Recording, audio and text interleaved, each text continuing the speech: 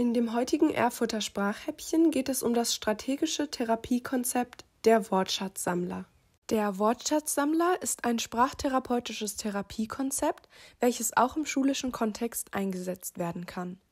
Es wurde von Motsch und Brüll 2009 entwickelt und liegt in der dritten Auflage von Motsch, Marx und Ulrich 2018 vor. Es hilft beim Einspeichern und Abrufen von neuen Wörtern. Der Wortschatzsammler kann zum strategischen Wortlernen bei allen Kindern eingesetzt werden, aber es ist insbesondere für Kinder mit Problemen in der semantisch-lexikalischen Entwicklung geeignet. Hier hilft Ihnen das Konzept dabei, den aktiven sowie passiven Wortschatz aufzubauen.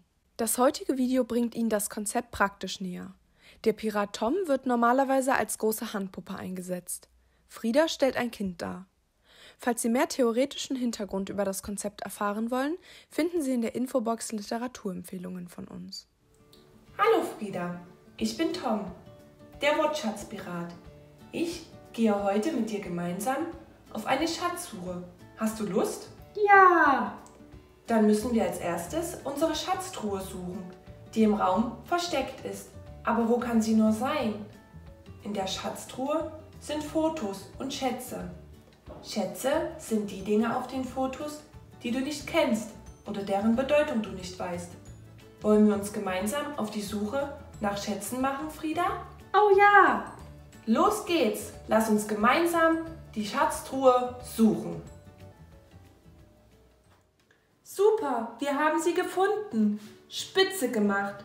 Ob sich auch Schätze in unserer Schatztruhe versteckt haben? Dann lass uns endlich reinschauen.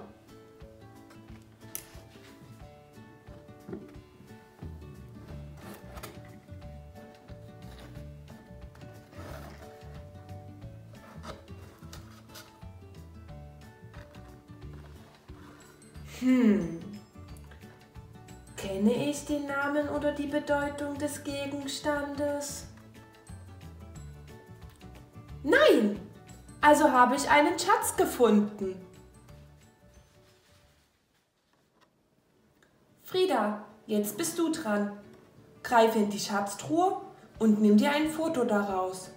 Schau, ob du auch einen Schatz findest.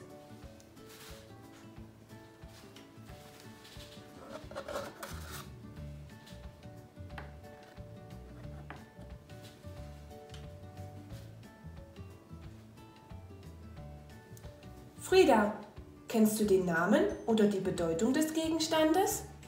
Hm. Nein. Habe ich jetzt einen Schatz gefunden?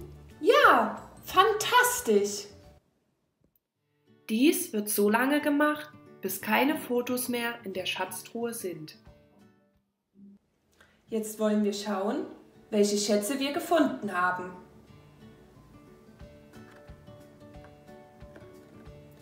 Das ist mein erster Schatz. Wie könnte er nur heißen? Ich habe keine Ahnung. Ich frage mal meine Schwester Thea. Sie weiß es bestimmt. Thea, was ist das? Schön, dass du fragst, Tom. Es ist ein Schneebesen. Mm, du Thea, aber was kann man damit alles machen? Damit kann man zum Beispiel den Teig für einen Kuchen umrühren. Hm, Schneebesen ist aber ein ganz schön schweres und langes Wort. Dafür muss ich meinen Zaubertrick anwenden. Er geht so. Ich sage das Wort dreimal laut hintereinander und zauber es mir in meinen Kopf. Schneebesen, Schneebesen, Schneebesen. Und schon habe ich das Wort in meinen Kopf gezaubert. Frieda, was ist dein erster Schatz? Das ist mein erster Schatz, aber ich weiß nicht, wie er heißt.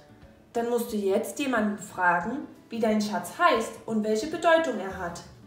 Du, Thea, kannst du mir verraten, was das ist? Ja, schön, dass du fragst, Frieda. Es ist ein Bügeleisen. Kannst du mir noch sagen, was ich damit machen kann? Natürlich. Damit kannst du die Falten aus Kleidung rausmachen. Danke für deine Hilfe, Thea. Dieses Nachfragen wird fortgesetzt, bis alle Schätze von Frieda und Tom besprochen wurden.